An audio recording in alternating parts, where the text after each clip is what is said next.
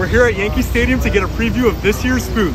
As a lifelong Yankees fan, it's a dream to be able to get a sneak peek at the food menu offerings for this upcoming season. Here are some Yankee Stadium menu items that I think y'all might enjoy. First, let's try the new 99 burger which features American Wagyu and New School American cheese. 99 of these will be sold during each home game. Next, Fuku's Spicy Chicken Sando which is habanero brined. Slight kick to it, really crispy. And for more fried chicken, try Street Bird's Hot Honey Chicken and Cornbread Waffle by Iron Chef Marcus Samuelsson. And Christian Petroni, Food Network star, offers his cheesy garlic breads. Welcome to the garlic bread department. The garlic bread pairs with a signature marinara sauce. Sesame seed on the bottom and curled pepperoni. Love all the layers. And for dessert, these Grand Slam shakes. Here's the chocolate fudge. We're gonna go for the brownie first. This is a decadent milkshake with many rich elements. After eating all this food, I had to burn off some calories. It's safe to say I won't be stealing any bases soon. Follow me for more New York City eats, and if you're hungry,